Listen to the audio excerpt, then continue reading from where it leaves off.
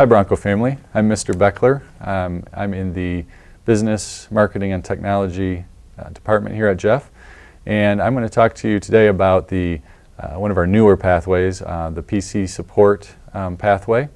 And uh, what this is, it's very um, technology based pathway. So uh, we recommend that you start out freshman year um, taking uh, preparing for college and careers um, which is a course that is designed to get you thinking about what you might want to do after high school, um, researching careers, researching um, you know, options for you after high school.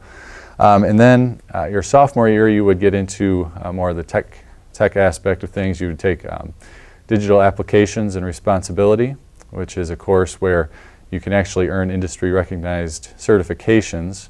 Uh, you can take the MOS exams, the Microsoft Office Specialist exams and um, earn uh, Word, Excel, PowerPoint, Access, and OneNote, uh, and even Outlook um, certifications.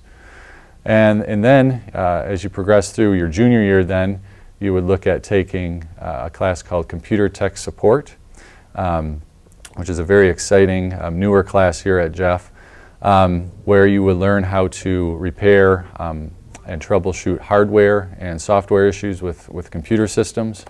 Um, so we would have a lab and you actually um, learn the different components of a computer, take apart computers, put them together again, um, perform troubleshooting on software and that kind of thing. Um, and then as part of that, uh, there would be an internship component um, where you would work in the TAC shop, the Technology Assistance Center. Um, and you would get credit for both the class and the internship. Um, so typically students would have um, uh, either one or two blocks uh, open where they would work in that lab setting. Um, and it's a very good, very good experience, um, hands-on, where you're supporting um, Jeff's students and staff and, and their technology needs. Um, so, and then senior year, we would again you could also do the TAC shop internship your senior year. So even if you took the class junior year, the actual class, uh, you could also do an in internship at the TAC shop your senior year in addition to what you did junior year.